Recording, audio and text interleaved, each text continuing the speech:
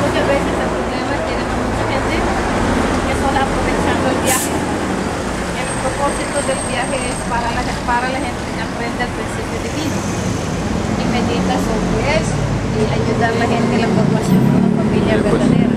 aquí en la calle.